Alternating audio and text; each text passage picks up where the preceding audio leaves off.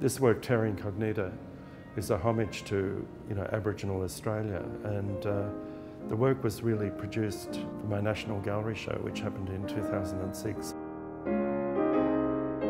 The background image to Terra Incognita is it's from a work by Emily Kngwarreye, who is one of the great artists not only of Australian art but of world art, and it's based on Emily's masterpiece, I think, which is uh, Big Yam Dreaming.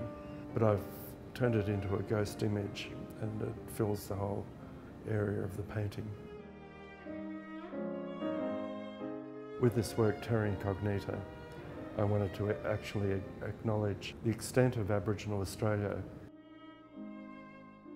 I came across a map by David Horton which showed Aboriginal Australia and it showed over 400 tribal language groups and it looked like a map of Europe.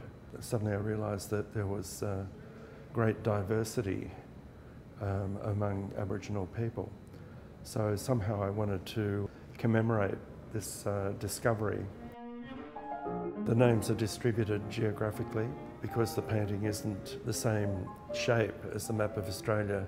As you get up to Cape York, the names get kind of compressed. So here you have the Aboriginal people of the Monaro, who are the Ngarigo, and, uh, and these are actually Christian symbols, just to remind us of uh, the original settlers.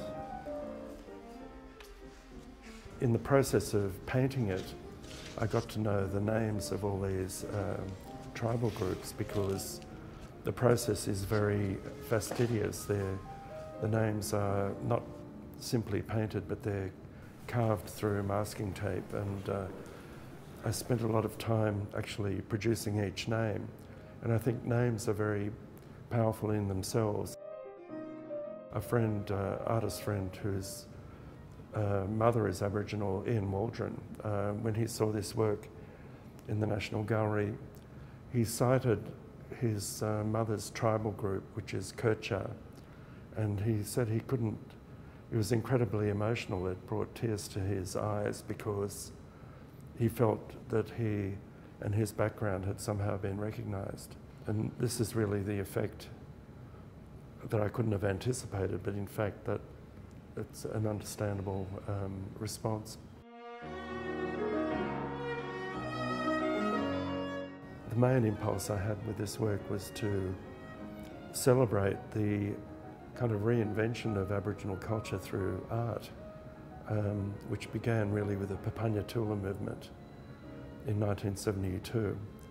And it's really a testament to the resilience of Aboriginal culture that they've found a way to reinvent themselves, you know, out of dismal kind of circumstances.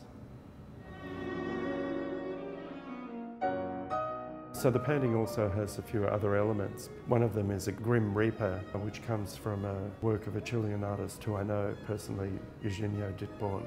It's really there to remind us that how the devastation that the British settlers caused to all these different tribal groups. Wave after wave of, uh, of destruction.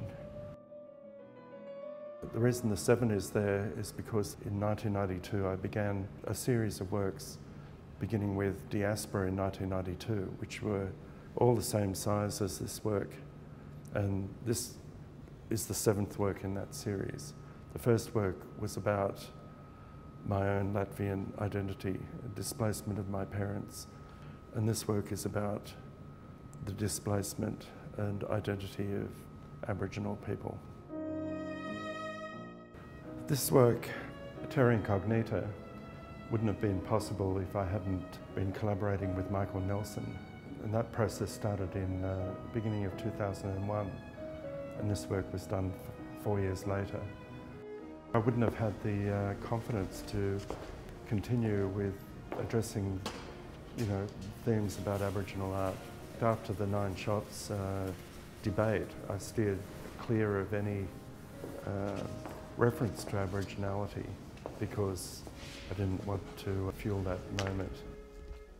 But then when I started collaborating with Michael Nelson, I realised it was just a, a, process where the two of us uh, came together on these works. We worked separately, but uh, with our own sort of imagery. Somehow, the act of collaboration uh, was was a place where we could meet in a meaningful way. So this work is really a, a homage to to Aboriginal Australia, and it's you know to prove that terra nullius didn't ever exist. It's wonderful to see this work after after 10 years, and uh, in fact, it's interesting then to think that it's 20 years. It was 20 years between the nine shots and Terra Incognita, and uh, every time I come into the gallery, I love seeing it. It's fantastic.